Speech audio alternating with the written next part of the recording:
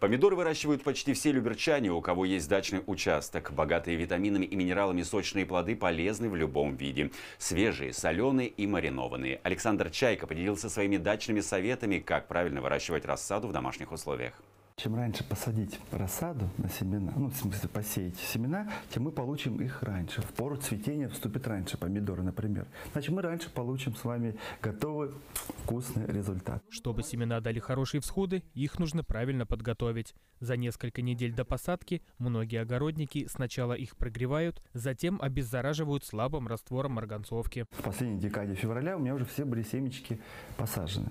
Я не замачиваю, не танцы с бубнами не устраиваю им. У меня все быстро, я их проливаю кипятком. Просто вот рука терпит вода, тогда пробуждаются быстро семена. Например, не две недели всходят, а неделю. Для посева семян можно использовать как специальные торфяные горшочки, так и простые пластиковые стаканчики с дренажными отверстиями на дне. Рассадные контейнеры выставляют на места с хорошим освещением. В упаковке, как правило, семян немного. Но если грамотно черенковать томаты, количество рассады можно увеличить. Я им отрезаю голову, вот это тоже просится. Но не до листиков, вот эти, которые не считаются листьями, это же семидоли. Это как запас питательных веществ на первый старт.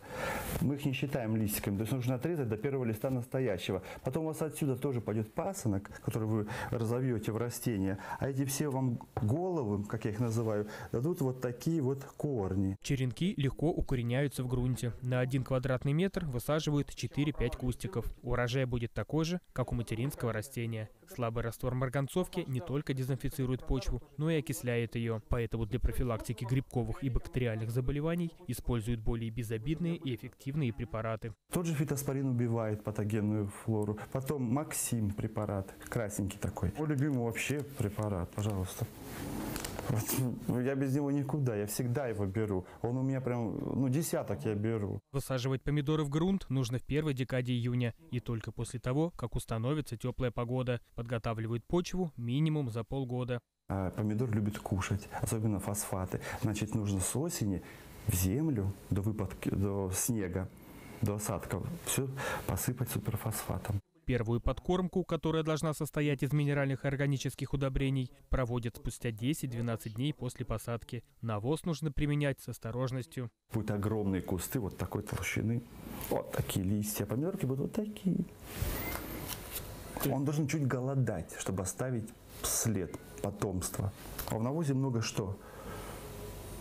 Азота. Листовая пластинка будет нарастать, а нам нужно калий.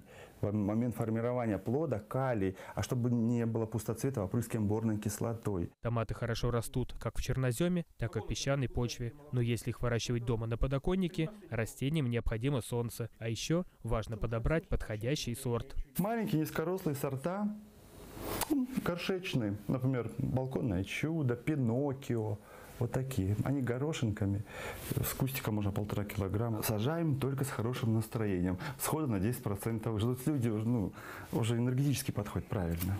Семена томатов рекомендуют сажать до конца марта. Перед тем, как приступить к высадке в открытый грунт, нужно выбрать солнечный, но защищенный от ветра участок. Лучшими соседями для помидоров являются лук, огурцы, бобовые и капуста. Богдан Колесников, Денис Заугольников, телеканал ЛРТ.